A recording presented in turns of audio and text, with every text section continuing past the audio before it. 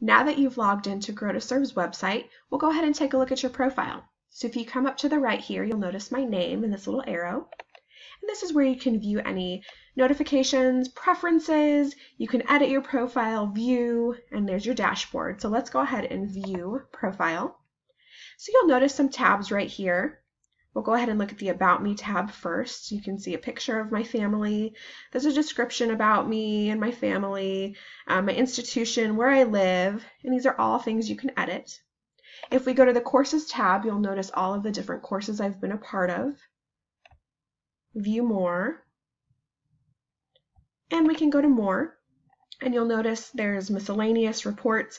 These are going to show you all of the activities you have participated in, grades, the last time you logged in, accessed you the site, and then we'll go ahead and check out edit profile. So this is kind of fun. This is a, a good way to introduce yourself to others.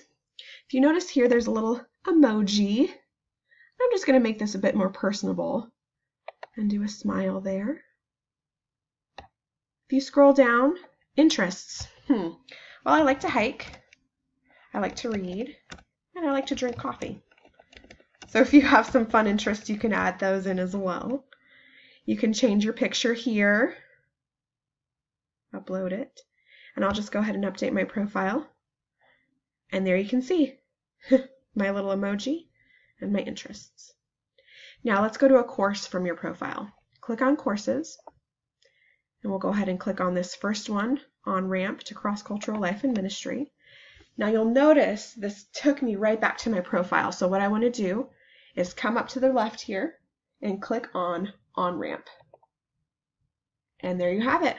We're at our course.